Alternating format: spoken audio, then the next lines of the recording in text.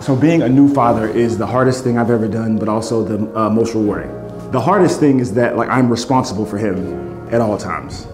So it's great, but it's like I remember when he was born, and he was born a month early.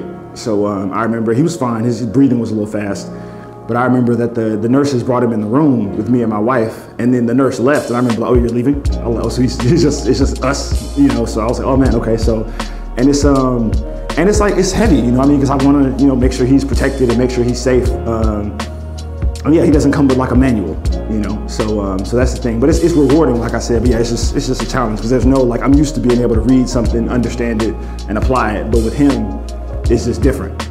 I pick my son up from daycare every day. I really enjoy him running up to me and like seeing him talking to his teachers, being involved. Like I look forward to being that kind of father, like to where all his teachers know who I am. Uh, so I enjoy that, and I enjoy like kind of talking to him about his day. Our ride home from daycare is always exciting. My dad was very involved in picking me up, talking to my teachers. My father is a Nigerian, came over in 1982, uh, and I vividly remember every time one of my teachers would meet my dad, they say, Mr. Dada, can you come speak for Black History Month at the school? And he would always say yes. And at the time, I'm not gonna lie, I wasn't like, I didn't appreciate it then as much as I do now. But, um, but yeah, he was always very active. Like all my teachers knew him. He never missed a basketball game. Like he was always very present. And those things, like I'm, now that I'm 31, like I really, really appreciate them. Like he was always there. So I want to be that same kind of dad.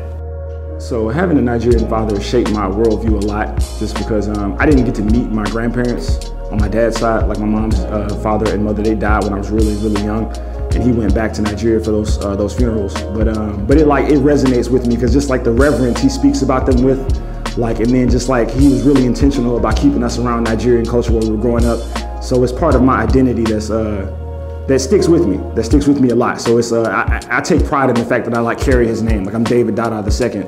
My son is David Dada the third. So um, his middle name, uh, one of his middle names is Lewis. My son, mine is as well. That's my mom's granddad. And then Ayinde is his other middle name. That's uh, from my father, my grandfather on my dad's side. Something that I think I learned from my dad and my son is learning from me is uh, like the love of reading.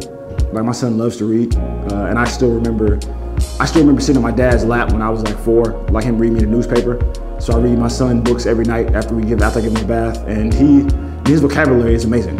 It's amazing. Like this morning, he has his uh his birthday was May 10th, and some friends of ours bought him some construction like trucks. He loves cars and trucks. And he was like, Daddy, I want my construction vehicles in the bath. And he said vehicles. Like he, yeah, he's just, his, his, his vocabulary is amazing. So he loves reading. And I think that, uh, um, it's like foundational for all learning. So I think that's gonna be something that we can just pass on. I still find books that my dad read and I learned that he writes in his books when he's reading. And I do that too. Now when I'm reading a book and I write something, I kind of write it with the thought that eventually I'm gonna give it to my son and he'll be able to kind of see what my thoughts were and we'll kind of share that. I think it's important for fathers to be involved in their children's lives because a lot of your uh, your child's identity is going to come from like from you, in a way. Like they're going to learn who they are from you because you're with them all the time. So if you speak life into them, you speak positive words into them, like no matter what else comes, and other things will come, they'll always reflect back on that. Because there's certain things that my dad told me about myself that like, regardless of what circumstances may bring, I know this is true about me because my dad said it. You know what I mean? So, um, so that's what I want my son to know. He brings me so much joy, like it's hard to really put into words.